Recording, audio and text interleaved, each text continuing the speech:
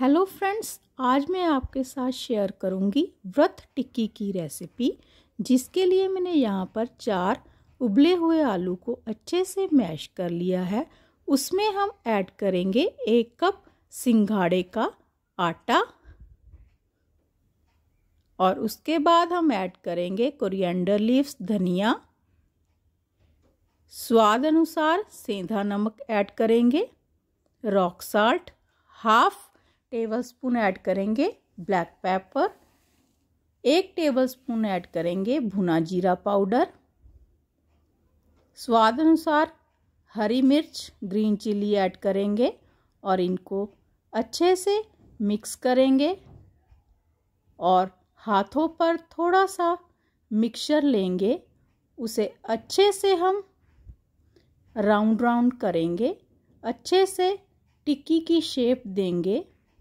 और प्लेट पर निकाल लेंगे। इसी तरह से हम मिक्सचर की सभी टिक्की बनाकर रेडी कर लेंगे। इसे अच्छे से शेप देंगे। आप किसी भी तरह की शेप बना सकते हैं, ओवल, राउंड, और इसे प्लेट पर निकाल लेंगे। ऑयल को मैंने पहले से गर्म होने के लिए रख दिया है। अब हम सभी व्रत की टिक्की को फ्राई करेंगे। फ्राई हम बिल्कुल लो टू मीडियम ऑयल में मीडियम फ्लेम पर फ्राई करेंगे। इसे हम टर्न करके दूसरी तरफ़ से भी अच्छे से गोल्डन ब्राउन कर लेंगे। दोनों तरफ़ से हम टिक्की को अच्छे से क्रिस्पी होने तक गोल्डन ब्राउन होने तक फ्राई करेंगे। चार से मिनट, चार से पाँच मिनट लगे हैं मुझे फ्राई करने में। टिक्की हमारी व्रत की रेडी है।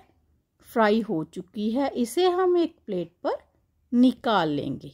इसी तरह से हम सभी टिक्की फ्राई करके रेडी कर लेंगे। रेडी है हमारी व्रत की। टिक्की इसे मैंने दही और हरी चटनी के साथ सर्व किया है। देखिए, अंदर से कितनी सॉफ्ट और बाहर से कितनी क्रिस्पी बनी है ये व्रत की सिंघाड़े के आटे की टिक्की। अगर फ्रेंड्स आपको हमारी आज की रेसिपी अच्छी लगे तो प्लीज़ वीडियो को लाइक करें, शेयर करें, सब्सक्राइब करें। मिलते हैं एक नई रेसिपी के साथ। Good bye.